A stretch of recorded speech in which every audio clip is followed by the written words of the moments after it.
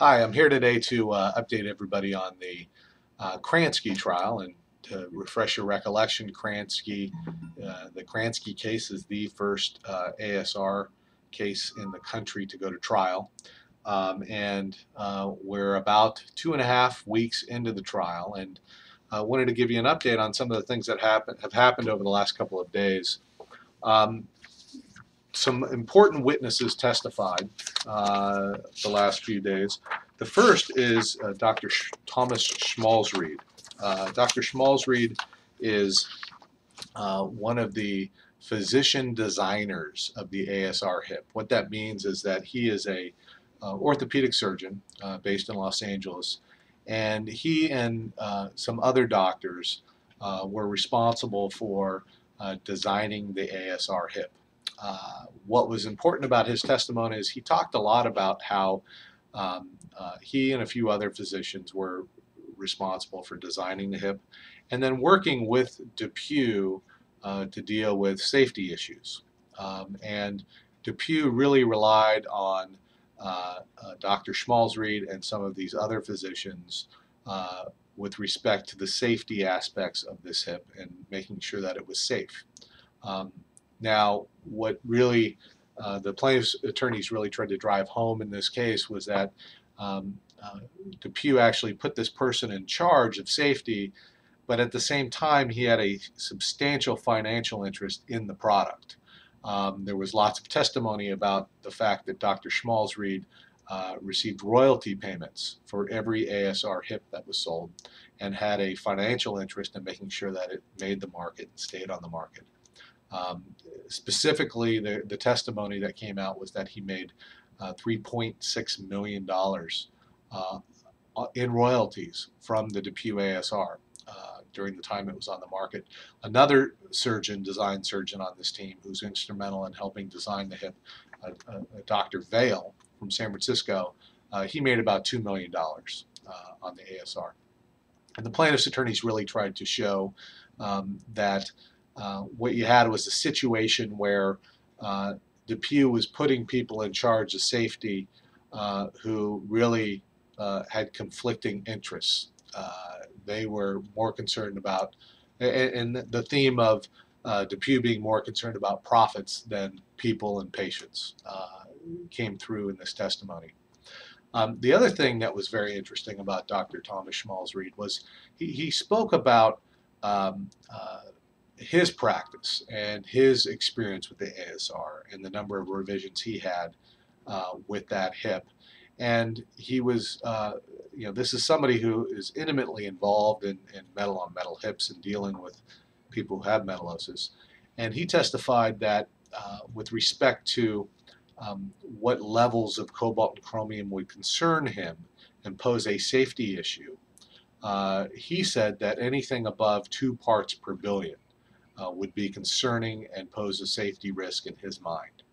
Um, that is significant because uh, attorneys uh, have repeatedly uh, argued during their opening argument that Mr. Kransky, who had cobalt and chromium levels of 40 parts per billion, uh, really was subjected to no safety or no health risks at all, and that uh, cobalt and chromium are essentially harmless metals that uh, are in food and they're in your body and really there's no need to worry about having uh, levels that are almost 40 times normal.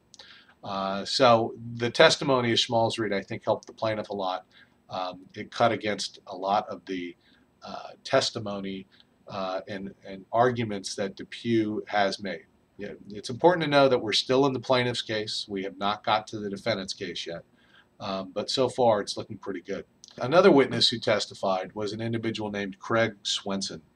Uh, Mr. Dr. Swenson is actually a surgeon in San Diego, um, and he had performed uh, uh, more than 200 ASR operations uh, where he used the hip. And he had he testified about the fact that he had a very substantial uh, revision rate, I think in the 30% range, um, and uh, what he testified about that was really uh, another, uh, I think, insight into the way DePuy does business is he talked about a meeting he had with the president of DePuy named David uh, Floyd. And what he testified was that in March of 2010, and this is a time period that is about six months before DePuy actually recalled the product, uh, Mr. Floyd told him that DePuy was not going to be selling the ASR anymore. Um, and so what you have is a situation where, um, and there's been other testimony in this case as well about sales reps as early as January of 2010 telling uh, doctors that the ASR was going to be taken off the market. So what you have is this situation where it appears that as early as early early January, February of 2010, the people at DePuy knew the ASR was on its way out, uh, but wasn't telling anybody about it. They hadn't issued a recall, um, and they appeared to be selling the products that were on the shelves. Um, the recall, as you may recall, didn't occur until August of 2010, months later. And so uh, this really gives some insight, I think, into uh, DePuy's mindset at the time and what they knew and, and how they knew it. Um, now, the other thing that uh, Dr. Swenson talked about was, um, you know, he's done lots of revision surgeries and he's seen lots of patients with what we call metallosis, and that's uh, the destruction of the soft tissue in the hip uh, from the metal particles, the cobalt chromium ions. Um, DePuy, in their opening statement, uh, uh, talked about the fact that Mr. Kransky, the plaintiff in the case, um, had black stained tissue uh, in his hip. Um, and uh, what they testified or what they argued was that that black stained tissue was nothing to worry about, that it was just staining, um, didn't cause any tissue damage, it didn't harm the tissue in any way. Well, Dr. Swenson took issue with that. Uh, he testified that uh, he had encountered that that type of tissue in a lot of the revision surgeries he had done with the ASR, um, and that, uh, in his opinion, that tissue was definitely damaged tissue.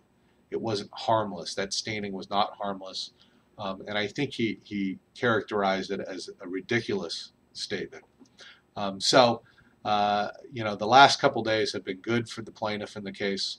Um, uh, the testimony is building a, a, very, very strong liability case here. Um, it appears that um, there is a lot of evidence that DePuy knew they had problems with this hip early on, um, did nothing about it, continued selling it, um, and uh, even at the highest levels of the company, uh, they knew there were problems. So stay tuned and we'll keep you updated on uh, new developments as they come in.